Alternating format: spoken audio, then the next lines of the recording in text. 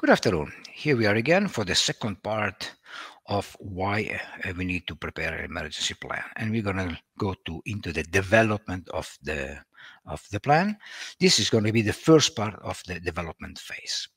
Well, the first thing I would uh, suggest for everyone is actually if and when you prepare your plan to create an introduction page where you have some text that shows that explains a little bit what the situation is, what is the collection, what is the object that needs to be protected by this emergency plan.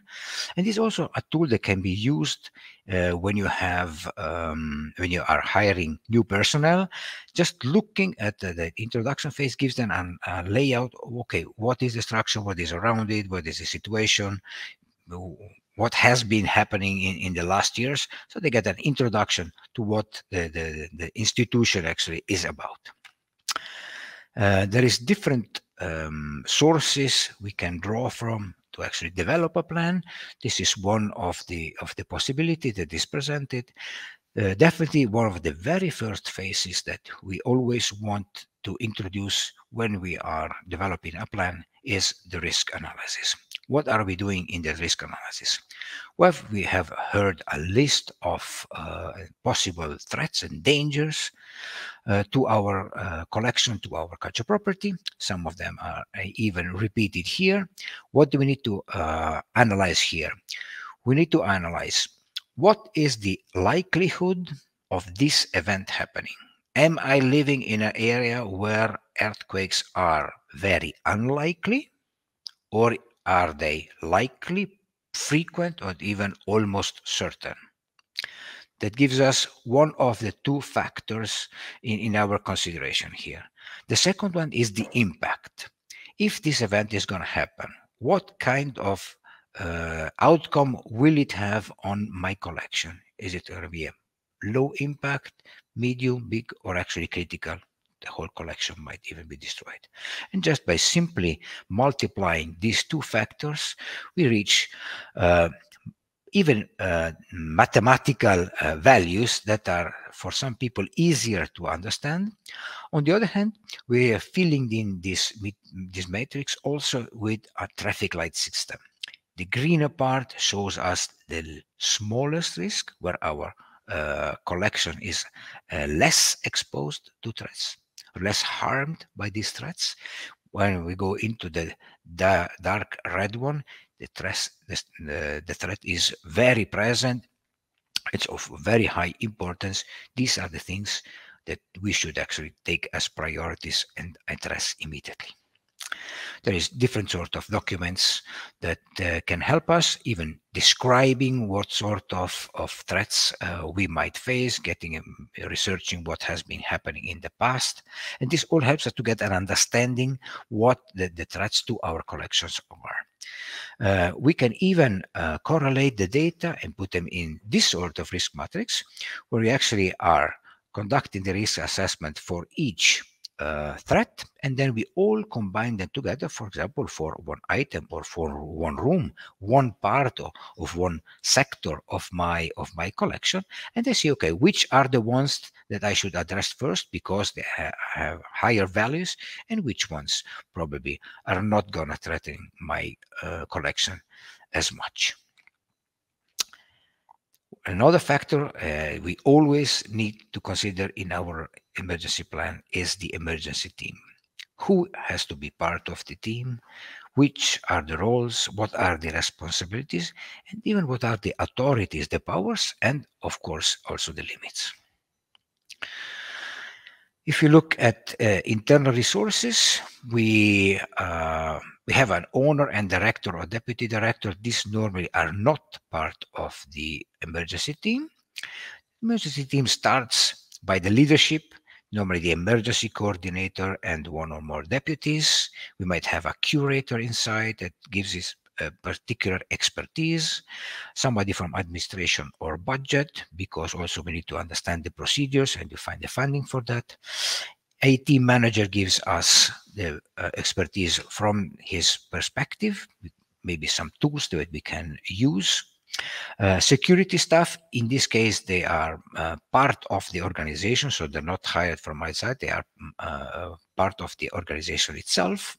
We might have a labor of a safety manager that is actually giving a different perspective more on, on the safety aspect for um, operating personnel, a lawyer that gives us legal counsel, public information uh, and media manager that gives us, okay, how are we going to transmit this information about what is happening also to outside to our stakeholders.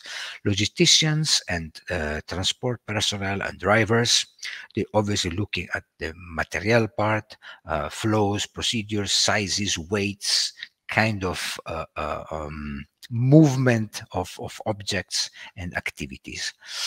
Then we might have, we might definitely need someone from the workshop, people who are uh, able to do some restoration, who are able to do the packing in the professional manner that is necessary not to damage our pieces, to handle them in the proper way.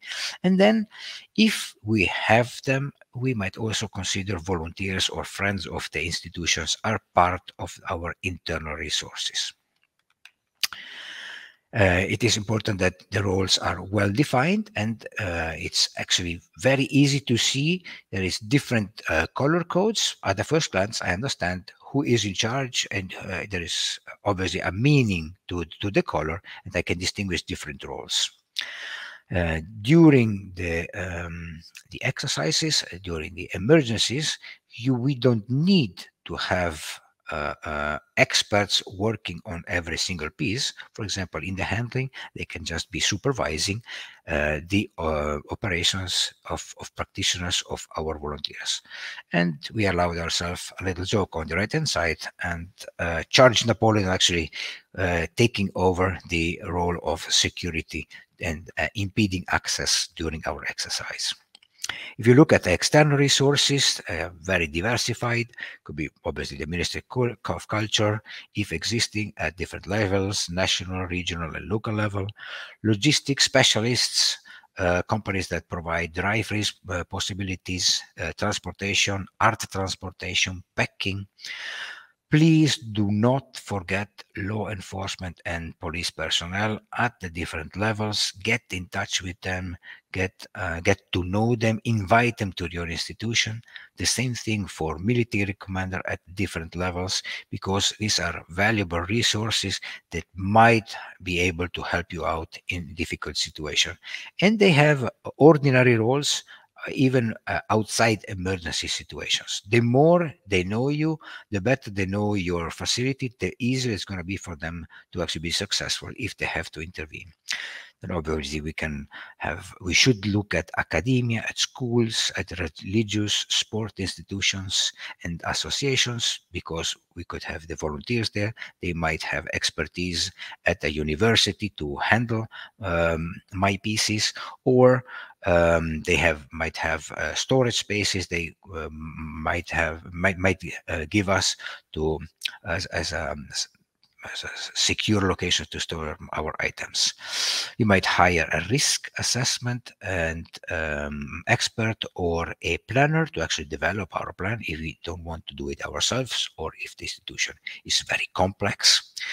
We might actually hire the services of a security company. So in this case, it is an external resource. The same thing goes for an external lawyer offering us legal support very important, absolutely key to be in touch with regional and local government.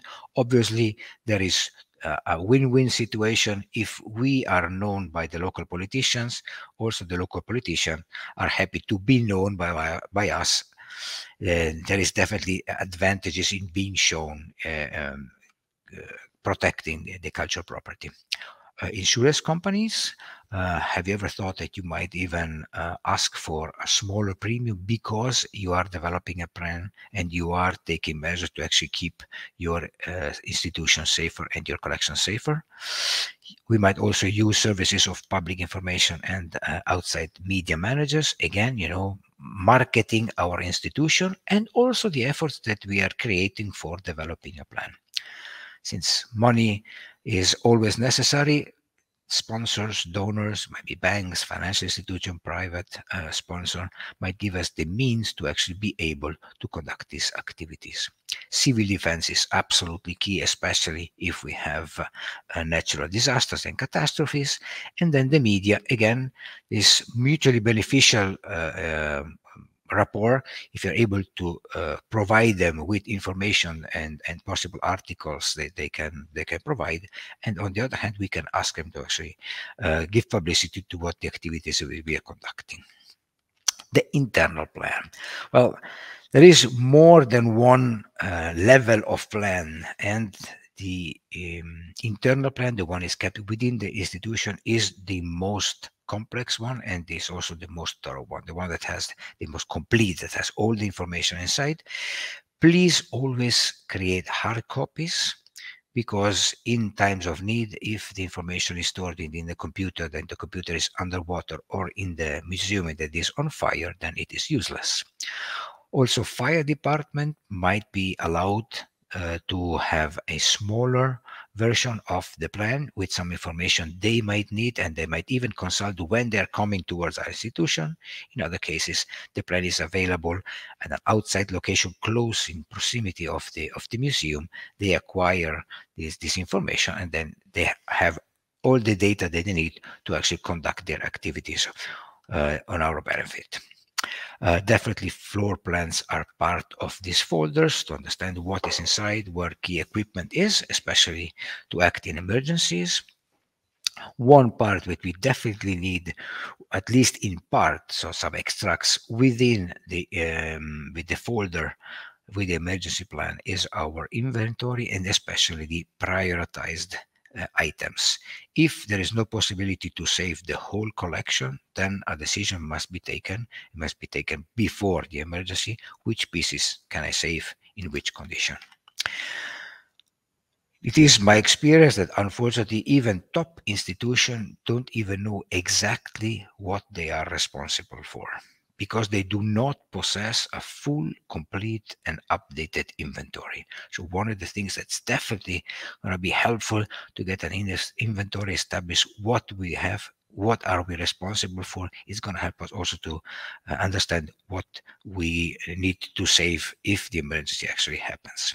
There's nowadays the possibility to uh, organize and create digital inventories actually for very agreeable prices, not so expensive, expensive anymore.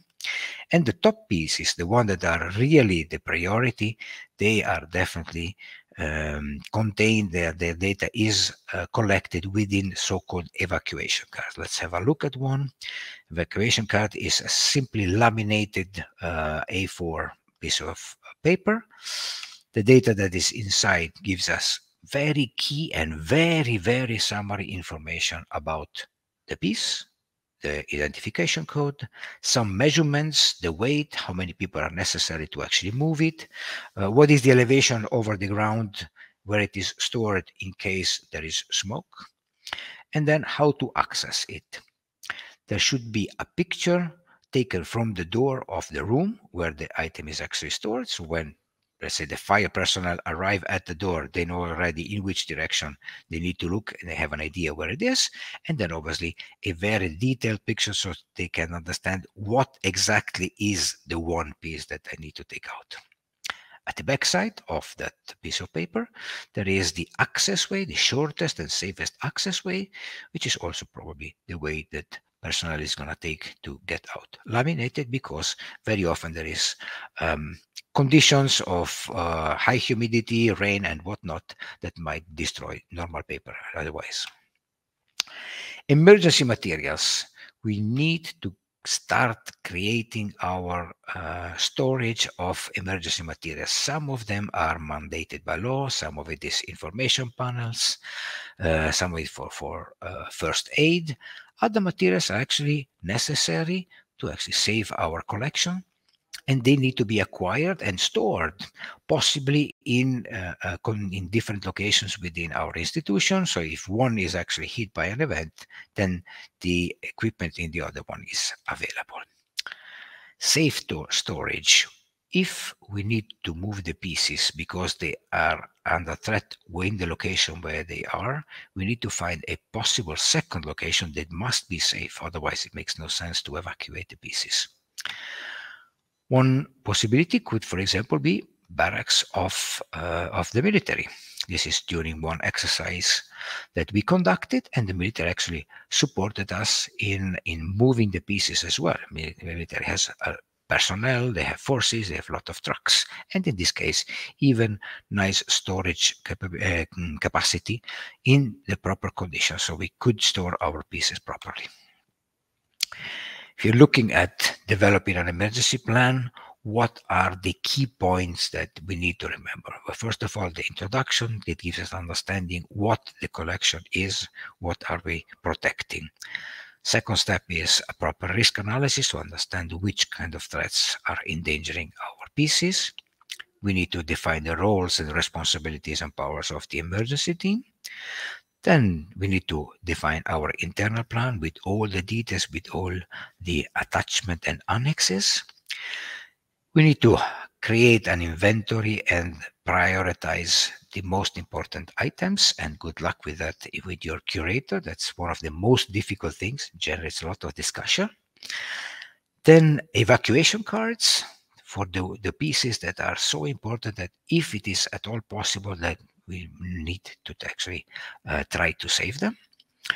Uh, we need to understand and, uh, and consider what kind of emergency materials we need, acquire those material, uh, store them in the proper way so that they are available in case of emergency. And then safe storage that gives us the possibility to move the items to evacuate them in case our institution should not be safe anymore. This concludes the second module. Thank you.